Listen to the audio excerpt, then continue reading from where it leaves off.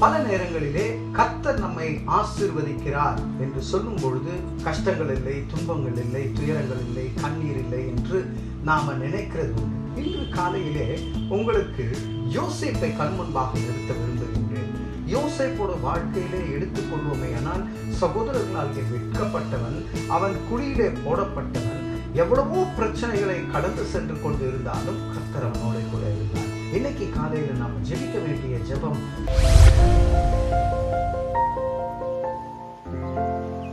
கிறிஸ்துவுக்குள் பிரியமானவர்களே பல நேரங்களிலே கர்த்தர் நம்மை ஆசீர்வதிக்கிறார் என்று சொல்லும் பொழுது நமக்கு பிரச்சனைகள் இல்லை பாடுகள் இல்லை கஷ்டங்கள் இல்லை துன்பங்கள் இல்லை துயரங்கள் இல்லை கண்ணீர் இல்லை என்று நாம நினைக்கிறது உண்டு.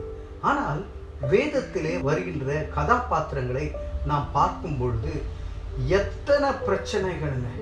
அத்தனை பிரச்சனைகள் மத்தியிலும் கர்த்தர் அவர்களோடு கூட இருந்தபடியினாலே அவர்கள் காரிய சக்தி உள்ளவர்களாய் மாறுகின்றார்கள் என்று பார்க்கின்றோம். வேதத்தை பார்க்கும்போது யாக்கோபு யாக்கோபு ஆசிர்வாதத்தை பெற்றுக்கொண்டு இருக்கிறபடினாலே கர்த்தர் ஆசிர்வதிக்கிறபடினாலே லாபான் பார்க்கின்றார் இவன் இ- செய்கிறதெல்லாம் வாய்க்கின்றதே என்று சொல்லி அவனை வைத்துக் கொள்வதை அவர் விரும்புகின்றவராய் இருக்கின்றார். அதுபோலத்தான் தாவீது ஆசீர்வாதம் சவுலுக்கு ஒரு பெரிய ஆசீர்வாதமாய் இருக்கின்றது என்று பார்க்கின்றோம்.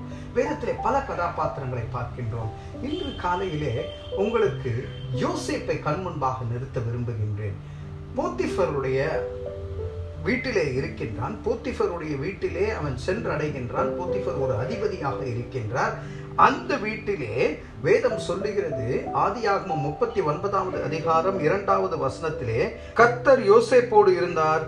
அவன் காரிய சித்தி உள்ளவனானான். அவன் எகிப்தியனாகிய தன் எஜமானுடைய வீட்டிலே இருந்தான்.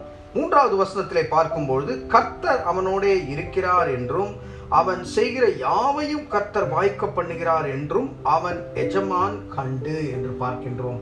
கர்த்தர் அவனோடு இருக்கின்றபடியினாலே அவன் செய்கிறதெல்லாம் வாய்க்கின்றது என்று பார்க்கின்றோம்.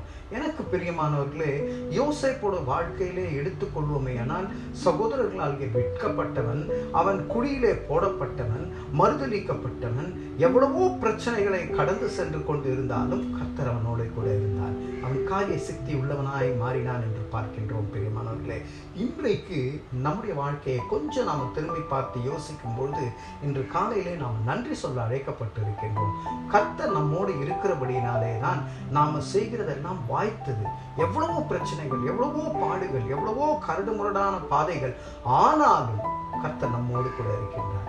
இன்னைக்கு காலையில் நாம் ஜெபிக்க வேண்டிய ஜெபம் ஆண்டவரே நீர் எங்களோடு என் குடும்பத்தோடு கூட இரும். நாங்கள் செய்கிறதெல்லாம் வாய்க்க கர்த்தருடைய கரத்தில் எங்களை ஒப்புக் கொடுக்கின்றோம் என்று சொல்லி என்று ஜெபித்து இந்த நாளை ஆரம்பிப்போம். God morning